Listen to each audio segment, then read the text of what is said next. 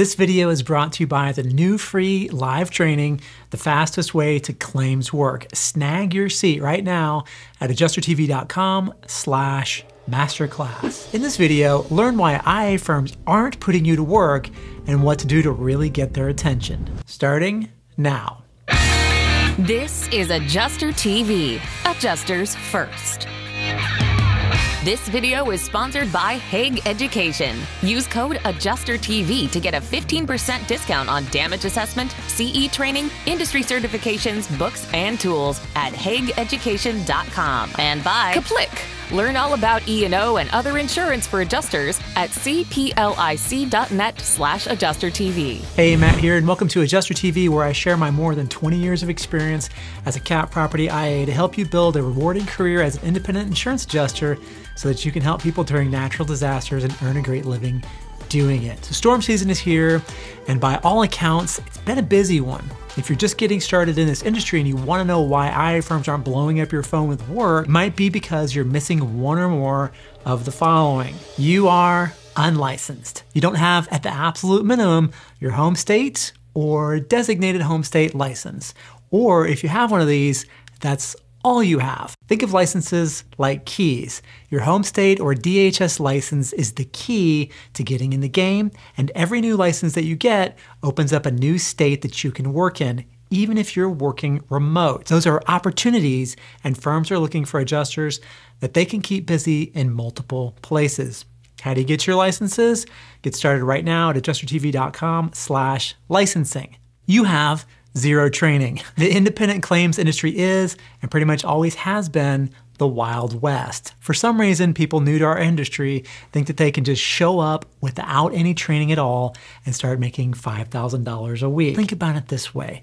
If you hired a contractor to remodel your kitchen, it sure would be awkward if you had to show them how to use a hammer.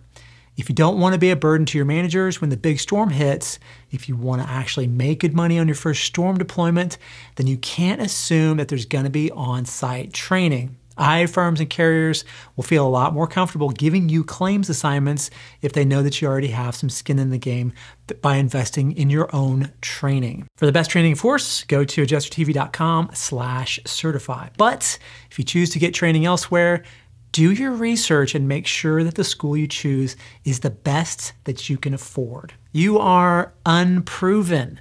Saying that you've taken this or that training looks okay on a resume, right?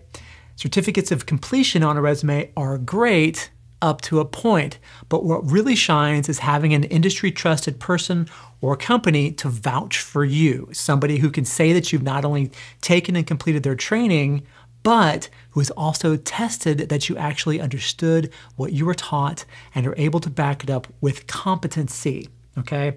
You will stand out if you seek out trainings that test you so that you can prove that you know what you're doing. You are unmotivated. Okay, these next two might sting a little bit, but this is a very hard business to get into. And if you don't have your mind right about what's not only expected of you, but what will set you apart from your competition, I'm telling you, your new career won't be worth the work, okay? So what do I mean by unmotivated? Well, you can get licenses and certifications, which are great, but how can an IA firm pick you out of a crowd if they don't even know who you are?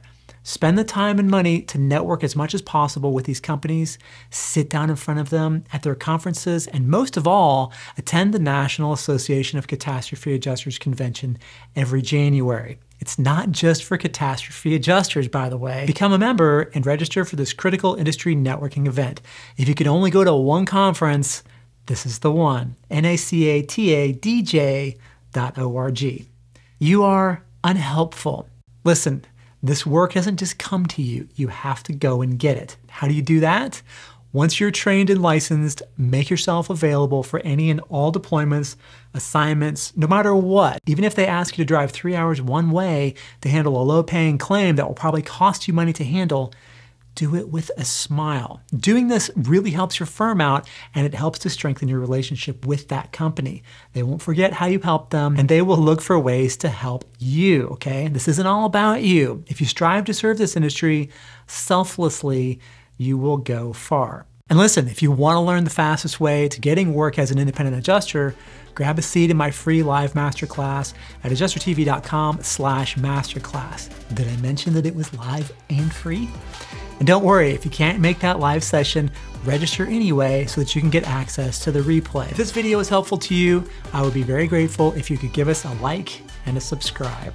And don't forget to check out the next video in the series, Top 5 Reasons You're Not Making Money as an IA. Okay, that's it for me. As always, thank you so much for watching and have a great storm. Adjuster TV. Live in the dream.